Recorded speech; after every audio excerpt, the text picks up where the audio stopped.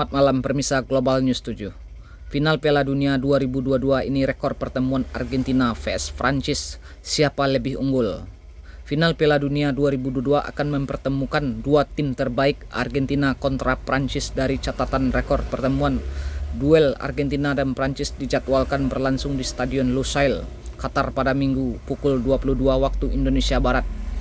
Ini akan menjadi laga final Piala Dunia ke-6 bagi Argentina Menilik catatan sejarah hanya Jerman, tim yang memiliki catatan laga final Piala Dunia yang lebih banyak.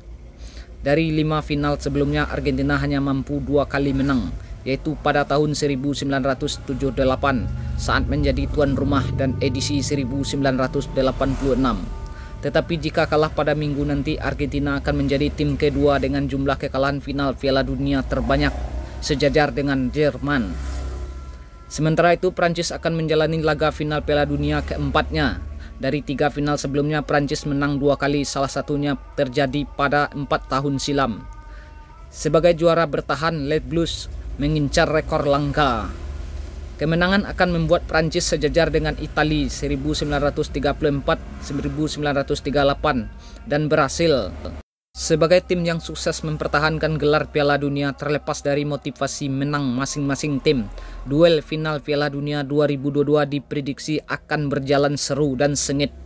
Pasalnya baik Argentina maupun Prancis merupakan dua tim paling produktif selama di Qatar. Telah membekukan 12 gol, sedangkan Prancis punya satu gol lebih banyak Selain itu, laga final ini juga akan menjadi penentuan siapa yang akan meraih gelar top skor. Kapten Argentina Lionel Messi dan winger andalan Prancis Kylian Mbappe sama-sama telah mengoleksi 5 gol. Kedua tim juga tercatat sudah sering berduel. Dari catatan Argentina dan Prancis sudah bertandingan sebanyak 12 kali di semua ajang. Di antaranya terjadi di Piala Dunia. Laporan Burhanuddin Global News 7 Jakarta mengabarkan.